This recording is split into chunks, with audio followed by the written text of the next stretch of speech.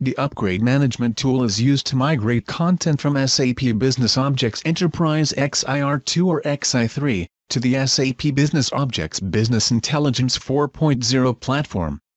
In this tutorial, you will perform a complete upgrade to migrate all available content at once. Note that this tutorial was recorded using the SAP Business Objects Business Intelligence 4.0 platform, version 14.0.0.760. To navigate, use the viewer controls or follow the on-screen instructions, if available. The incremental upgrade option allows you to choose particular objects to upgrade. Choose the complete upgrade option, to upgrade all available objects. Click Complete Upgrade. Click Next. A live-to-live -live upgrade will migrate content directly from an XIR2 or XI3 source system.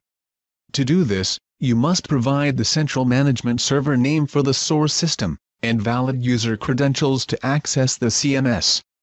You can also migrate content from a business intelligence archive file that was previously created from an XIR2 or XI3 source system. The BIAR file is created using the import wizard that was included in XIR2 and XI3. For this tutorial, choose to migrate content from a BIAR file. Click the Upgrade Scenario list. Note that there is also a Live to BIAR option that allows you to create a BIAR file from an SAP Business Objects Business Intelligence 4.0 source system. Select BIAR to Live. Browse to, and select the BIAR file.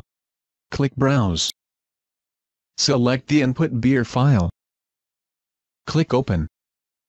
From this point on, the upgrade process is the same whether you are doing a BIAR to live upgrade or a live to live upgrade.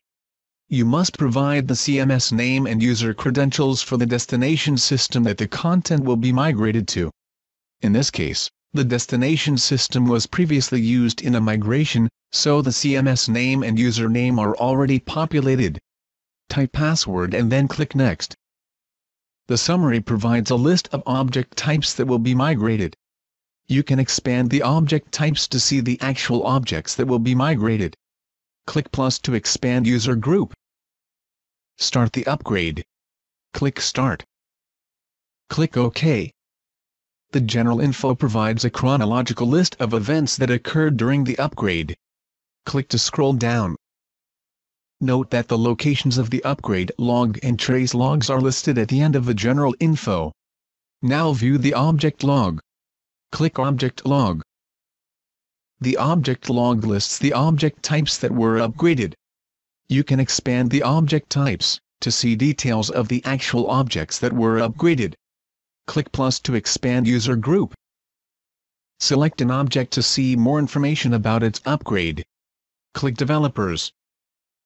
You have successfully performed a complete upgrade to migrate all available content at once. This is the end of the tutorial.